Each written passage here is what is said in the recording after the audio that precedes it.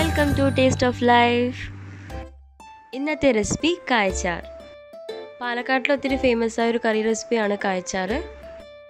സാധാരണ കായച്ചാറിൽ മട്ടനൊക്കെ ആഡ് ചെയ്തിട്ടാണ് തയ്യാറാക്കി എടുക്കാറ്. എന്നാൽ ഞാനിവിടെ കാണിക്കുന്ന റെസിപ്പിയിൽ മട്ടൻ ആഡ് ചെയ്യാതെ വെജിറ്റബിൾസ് കൊണ്ട് എങ്ങനെ കായച്ചാർ അതേ രുചിയിൽ തന്നെ തയ്യാറാക്കി എടുക്കാൻ നോക്കാം.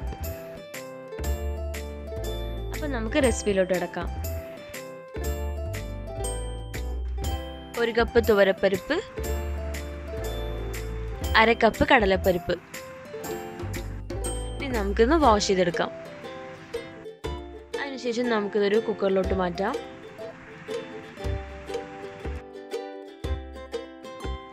ഇനി ഇതിലേക്ക് നാല് പച്ചമുളക് മുറിക്കാതെ തന്നെ ആഡ് ചെയ്ത് കൊടുക്കാം. കുറച്ചല്ലി വെളുത്തുള്ളി. ഒരു ടീസ്പൂൺ ചെറിയ ജീരകം. ഒരു ടീസ്പൂൺ മഞ്ഞൾപ്പൊടി. രണ്ട് കപ്പ് വെള്ളം. ഇനി ഇതിലേക്ക് ഒരു ടീസ്പൂൺ വെളിച്ചെണ്ണ കൂടി ആഡ് ചെയ്ത് കൊടുക്കാം. ഇനി നമുക്ക് അടച്ച് വെച്ചിട്ട് അഞ്ച് വിസിലിന് കുക്ക് ചെയ്തെടുക്കാം.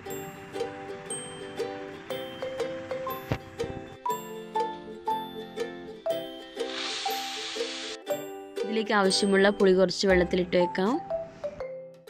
ഇനി നമുക്ക് കായ്ച്ചാറിന് ആവശ്യമുള്ള പച്ചക്കറികൾ എന്തൊക്കെയാണ് നോക്കാം.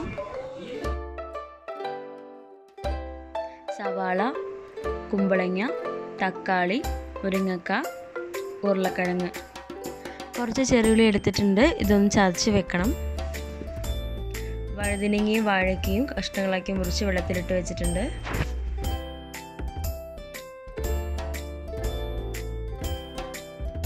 ചട്ടി ചൂടാവുന്ന സമയത്ത് ഇതിലോട്ട് കാൽ കപ്പ് സൺഫ്ലവർ ഓയിൽ ഒഴിച്ചു കൊടുക്കാം. ഓയിൽ ചൂടായി വരുന്ന സമയത്ത് ഇതിലോട്ട് ഏലക്ക പട്ട ഗ്രാമ്പു ചുവന്നമുളക് എന്നിവ ആഡ് ചെയ്ത് കൊടുക്കാം. ഇനി ഇതിലേക്ക് അര ടീസ്പൂൺ ഉലുവ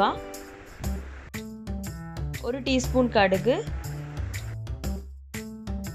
അര ടീസ്പൂൺ ചെറിയ ജീരകം. ഇനി ഇതിലോട്ട് കുറച്ച് കറിവേപ്പിലയും കൂടി ചേർത്ത് കൊടുക്കാം.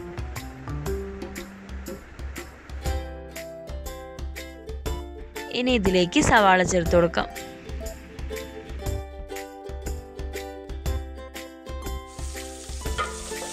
സവാള ഒന്ന് ചെറുതായി വഴന്നു വന്നതിന് ശേഷം നമുക്ക് ഇതിലോട്ട് ചതച്ച് വെച്ച ചെറിയുള്ളിയും ചേർത്ത് കൊടുക്കാം. ഇവ രണ്ട് വഴന്നതിന് ശേഷം നമുക്ക് ഇഞ്ചി വെളുത്തുള്ളി പേസ്റ്റ് ആഡ് ചെയ്ത് കൊടുക്കാം.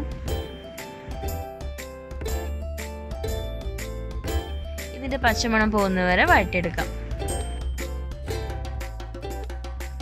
ഇനി ഇതിലോട്ട് തക്കാളി ആഡ് ചെയ്ത് കൊടുക്കാം.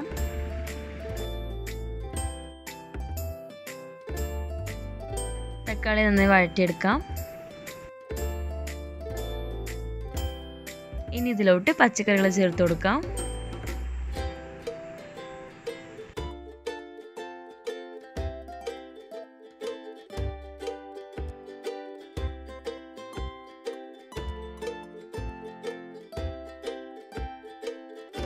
നന്നായി ഇളക്കി യോജിപ്പിച്ച് കൊടുക്കാം. ഇനി ഇതിലേക്ക് മസാല പൗഡറൊക്കെ ആഡ് ചെയ്ത് കൊടുക്കാം. രണ്ടര ടേബിൾ സ്പൂൺ മുളക് പൊടി. മൂന്ന് ടേബിൾ സ്പൂൺ മല്ലിപ്പൊടി. അര ടീസ്പൂൺ മഞ്ഞൾപ്പൊടി. അര ടീസ്പൂൺ ഗരം മസാലപ്പൊടി പൊടി. ഇനി ഇതിലോട്ട് മൂന്ന് ടീസ്പൂൺ ഉപ്പ് കൂടി ചേർത്ത് കൊടുത്ത് നന്നായി ഇളക്കാം.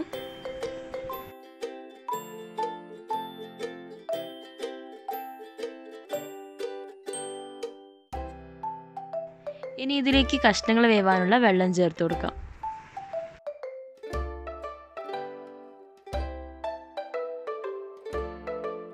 ഇനി വെജിറ്റബിൾസ് എല്ലാം ഒരു പതിനഞ്ച് മിനിറ്റ് നമുക്ക് അടച്ച് വെച്ച് വേവിച്ചെടുക്കാം.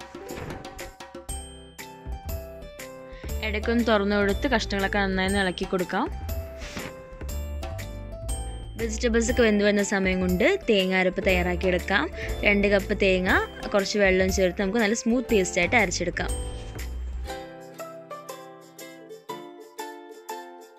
അതുപോലെ തന്നെ പുളിവെള്ളം നമുക്ക് എടുത്തു വെക്കാം.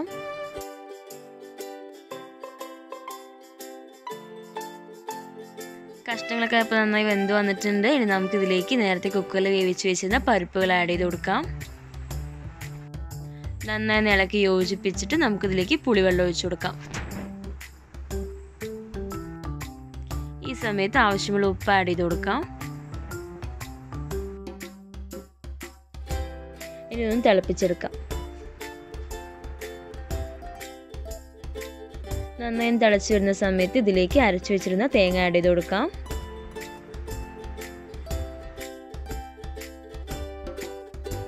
നന്നായി ഇളക്കി കൊടുത്തതിന് ശേഷം നമുക്കിത് അടച്ച് വെച്ചിട്ട് തിളപ്പിച്ചെടുക്കാം.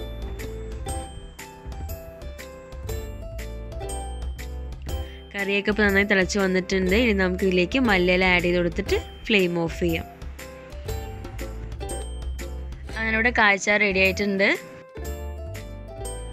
റെസിപ്പി ഇഡ്ഡലി ദോശ പിന്നെ ഗീ റൈസ് വൈറ്റ് റൈസ് ഇതിന്റെ കൂടെ നല്ല അടിപൊളി കോമ്പിനേഷനാണ് ഈ റെസിപ്പി ഇഷ്ടമായാലും എല്ലാവരും ട്രൈ ചെയ്ത് നോക്കണേ. വീഡിയോ ഇഷ്ടമായെങ്കിൽ ലൈക്ക് ചെയ്യാനും ഷെയർ ചെയ്യാനും സബ്സ്ക്രൈബ് ചെയ്യാനും മറക്കരുത്. ഇനി പുതിയൊരു റെസിപ്പി ആയിട്ട് അടുത്ത വീഡിയോയിൽ കാണാം. ബൈ